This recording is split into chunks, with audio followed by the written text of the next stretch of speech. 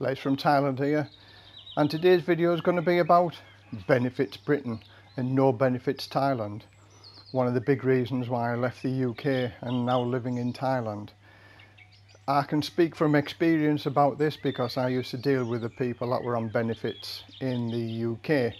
So today is going to be a rant because over the past couple of days I've watched a few episodes of Benefits Britain and it sort of wound me up I've been living here now in Thailand for 10 years and I sort of realised all of this lot was going on 10 years ago and if, if anything it's even worse now compared to no benefits Thailand. So I'm going to wash the car so it, it might be a long video again I don't know but it's going to be unscripted and I'll just go on. Now many people say to me I must have the cleanest car in Thailand. Does it get dirty? I'm going to show you a video. Yes it does get dirty. So today's the day I'm going to give it a wash. So here we go. Benefits Britain and no benefits Thailand. And what do I think about it? Well, I've not watched any programs like this for a few years now because I dealt with people on benefits when I was in England and I was trying to get people off benefits in England on various programs that I used to do when I worked for the fire service and the Prince's Trust. And I've got to say it was a very difficult time then and it looks even worse now because of the culture of Benefits Britain.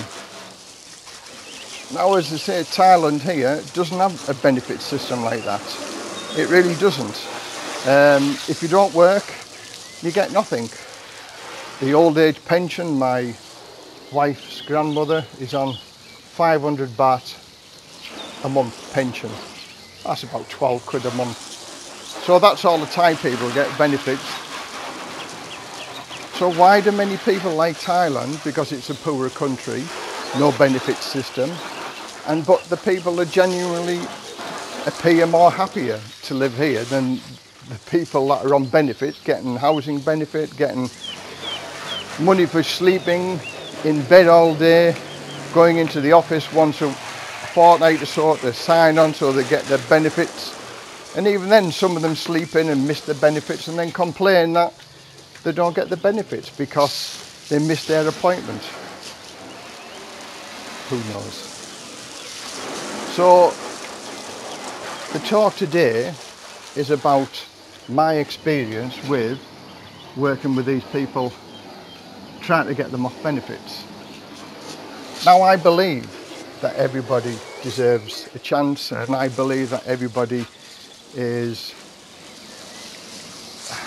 what can I say, want a job or want to better themselves. How many people really want to stay on benefits? You know, it's a demoralising situation to be in because it's it's just looking at the people that, that they don't seem to have any future they don't seem to have any any motivation get up and go the get and go is gone. So the story is that I'm going to talk about when I was working for the Prince's Trust and I had some people on my course. And my aim was to get them off benefits get them into work get them into a job and improve their lives. Now I was seconded to the Prince's Trust for a year. So I worked in the fire brigade and the fire brigade looked upon it, it was a good move for me to improve my knowledge and uh, my well-being and my uh, working with with people. So that was their aim to get me moved up the ladder by working with people such as this. It'd be good for my progression with regard to moving on in, in the fire brigade and I've got to turn around and say it's probably one of the hardest things I've ever done working with these group of people because the uh, bit, well basically the fire brigade if you tell people what to do they do what, what they're told but these people that were on benefits and no motivation, no skills, qualifications and very, very little education, if you told them what to do, it was just like, you're not going to tell me what to do. Who are you to tell me what to do? And they weren't enthusiastic every day at all. So you had to be enthusiastic and going at it full pelt and show no weakness with regard to you're having a bad day. Because if you were having a bad day with them, they make your day even worse because you've got to be positive all the time. And that was a difficult thing to do, but I did it. And um, I've got to say, in its own way, I enjoyed doing it, although it was probably one of the most difficult jobs that I did. That and working for the probation service, um, that was difficult in itself as well, taking people out on community service. But anyway, I digress. That that's another story with regard to working with these people. So, the uh, Prince's Trust, run by Prince Charles in England, for those people who didn't know what the Prince's Trust is about. And it's been set up for a lot, a lot of years, and it helps people from 16 up to 25, 30 year olds to gain a job or move on to further education. It's a very, very well run charitable cause, and I enjoyed working for it for the year that I did. Although it was very hard, it taught me a lot of things as well as the people that I was teaching. So, um, so it was a 12 week personal development course. And as I say, at the end of it, they come out with a certificate because they've completed the course and also with forward momentum thinking of either getting a job or moving on to education. That was the whole aim of the course. And so in, in week 10, they were, they were finishing having two week work experience. So six to eight weeks into it, we got them into looking for jobs and what jobs would they like to do. And basically working for the fire brigade, we could open many doors and we did. We opened quite a few doors for these people. You know, to get access into employment or a taste of employment better than if they could try to do it themselves. For instance, there was this girl who wanted to work in a, a really, really top class hotel. Really, really top class. And she said, no, you can't get me in there, Les, because they've never answered my CV. They've never replied to anything. I've tried many times to get into there. And I got her in. I got her in there for two weeks for two weeks trial and basically the manageress said to me um, if she's okay Les after this two weeks we'll keep her on. And she sort of said this at the interview. Well this girl this girl was absolutely buzzing. She was euphoric excited that the fact that she'd got into this position.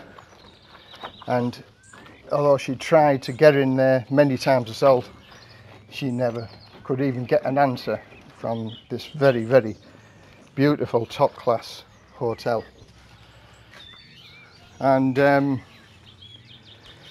so it was absolutely superb for me because when I got back to our classroom with the other students, they seen what I could do. So that absolutely inspired them to think Les can do what he says. Les can do miracles, and I, that's what I did, you know. Um, but I was pushing and I was, you know, forward thinking. I, I think outside the box, and I do many, many good things, and that's why people like me on that course because I could achieve and I could get what they really wanted within reasons, of course, you know. And um, Anyway, this girl who was on the benefit system and uh, she was starting this job and um, on the Monday morning 10 o'clock the manageress from this posh hotel asked me where this girl was and I said, isn't she there? She's, she should be there. 10 o'clock, she said she's supposed to start at 9 and she's not here. So I'll give this girl a ring on the mobile number. And what do I hear? Who's that? I said, it's Les. It's Les from Prince's Trust. Oh, hello Les. I'm not going in today. She said, I'm not going in. She said, uh, I'm recovering from a weekend of partying. So I said, said this girl, I was rather angry. I said, listen, I said, this was your dream job. Your dream job. You were so excited about getting in there. I said, listen, I'm going to lie and I hate lying. I absolutely hate lying. So I won't call it a lie, I told it as a mistruth. And I rang the manageress up and I said, oh, I'm sorry, so I've just been speaking to her. I said, unfortunately, she's had a, a death in the family and going to work was sort of the last thing on her mind. So I said, she'll be in there on Wednesday. For sure, she'll be in there on Wednesday. And I really do hate, like, I don't lie myself. Oh, I tell white lies. I live by morals, scruples and principles and it didn't sit right with me what I said to the lady with regard to her keeping her job or trying to keep her job. But for me it was a little sacrifice to hopefully send this girl on her way to a better future. We're, we're all make slip ups and we all do some silly things so I just class this as a silly little thing. And um, anyway, Wednesday, I rings the manageress up at 10 o'clock. I said, oh yeah, she's here, she's here. She, she was here nice and early at nine o'clock, well presented and, you know, looking smart. And she said, yeah, I think she's gonna enjoy her, her time here. And at one o'clock, the same day, I get a ring from the manageress. She's left, she's gone. She doesn't want to work here anymore, she says. I said, well, why is that? Why is that? She said, oh, come and have an interview with me tomorrow, Les. And she said, I'll explain to her what happened. So I didn't ring this girl up and asked her the reason why. Very disappointed I was and I goes up to the up to the hotel the following day and had my discussion with the manageress and she'd got there at nine o'clock she said she was very smart and very willing to start learning and she said we had a wedding on that afternoon on the Wednesday afternoon so she said I got her to start cleaning the silverware the cutlery and the forks and the knives and that and This girl says, I've come to work in your hotel. I haven't come to clean knives and forks. I've come to work here as a receptionist or a, something like that. She said, I haven't come here to clean forks and spoons. So she said, you can stick your job where the sun doesn't shine. So you can imagine this top class hotel, really, really top class hotel. I was totally embarrassed that somebody would speak to somebody of, of authority in this dream job of a location and that she told this manager she can stick a job. Not even one day she stuck the job. So I never spoke to her for the fortnight and she never rang me up because they had two weeks work experience so they weren't due back in the office for two weeks. And when she came back to the office, she said to me, no, she said, I wanted to be a secretary. She said, or I wanted to be on the desk. She said, I don't want to be cleaning up after everybody else.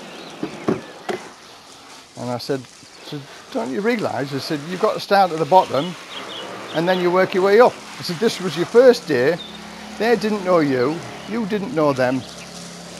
So it was just a sort of getting used to the way you tick and the way you go on. So I said, what do you think your attitude shows to them? She I don't care, I don't care. I never want to work for them. So I said, well, on the positive side, now you know you don't want to work in a top class hotel. So what else do you want to do? And she said, I don't know. So then after the two weeks placement, there was a number of people came back after their two weeks work experience and realised the jobs that they want to do weren't the jobs that they wanted to do. So then me being on the positive side, I said, okay then, let's see what jobs you can do. Let's face it, you've all got no skills, qualifications or education or very little education. So what do you think you can offer everybody out there who's looking for work? Potential employers. And um, of course the answer was, we've got nothing to, to offer them. So because I'm a big thinker out of the box, I had ways and means of uh, rescuing this situation. So I was saying that the way forward, just went got me cloth. So the way forward was to be self-employed. If you're self-employed, you're your own boss. And doing my exercise on the board with regard to what jobs you can do, with regard to being self-employed, in which you can become self-employed, and I had five jobs, five jobs that offered you the chance of becoming self-employed. And the first job that I'm going to talk about where I offered them a guy came into our into our offices and he had a window cleaning round. And he offered that for sale. Well not he didn't want to sell it. He wanted to give it to us sorry. But if nobody took him up on the offer he was going to sell it. And he wanted to offer it to somebody that was willing to take over the round.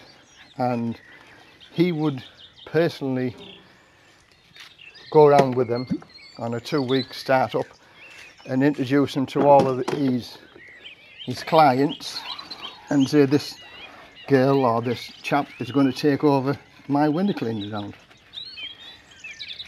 So before I told them it was a window cleaning round, I said to them, who wants to earn £35,000 a year, being self-employed, work when you want, you know, have maybe six weeks holiday a year, and employ maybe he's a friend. And you could earn 54,000 pounds a year. So I did all of the the maths on the on the board. And I had 10 eager hands. Yeah yeah yeah yeah I want that. Yeah yeah yeah I want that. I want to earn 35,000 pounds a year. And then I said the job is a window cleaner oh, window cleaner, window cleaner, he said.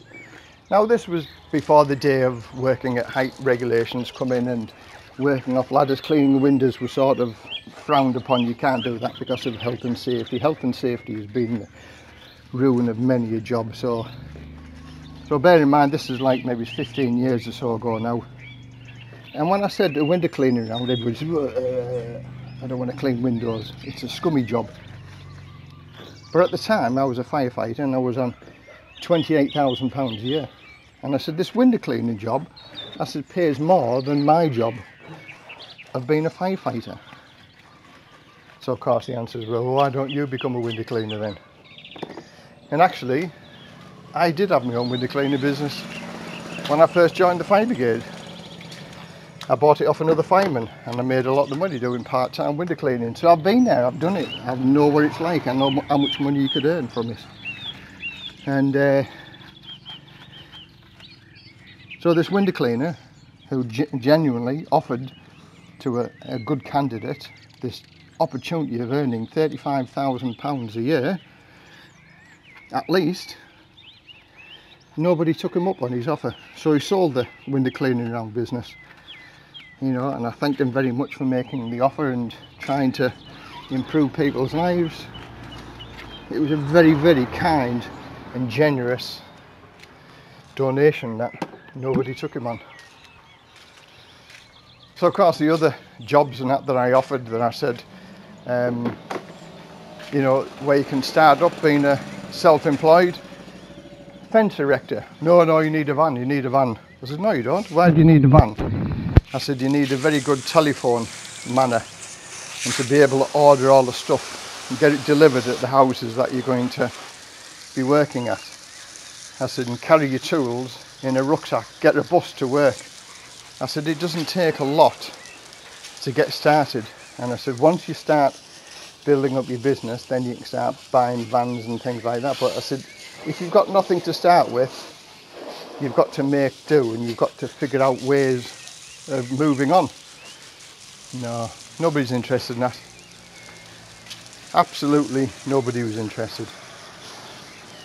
So I explained the other jobs and they're all on a similar sort of vein doing that. And uh, I used to be a, a face painter and have bouncy castles and children's entertainment business. I said, you know, learn face painting. You can earn £100, £200 a day being a face painter. No, no, no, I don't want to do that. I even had the course contacts, the course that I went on, I paid £45 and I literally made hundreds and hundreds of pounds being a face painter. Now I'm no good as an artist, but the simple steps that they taught you, it was easy to do. And when I opened my own children's leisure business with bouncy castles, I did did that, face painting, and I did temporary tattoos, which again just another money earner, and balloon models, balloon modelling, going up Redcar High Street, earning 200 pounds a day, 200, 250 pounds a day on a weekend, doing balloon modelling, squeak, squeak, bang, wallop, give kids the balloon, little happy kids because they've got a balloon. Used to cost me six pence a balloon and I used to sell them at a pound each. I used to give maybe four or five balloons away at the beginning of the day to these kids and once another kid sees another kid with a balloon, oh, oh, oh, oh, That's how it works. So I'm always thinking out of the box. But I'm afraid this benefits culture Britain it spoiled it for everybody because nobody wants to work. Nobody wants to get off benefits because it's such an easy job getting off benefits.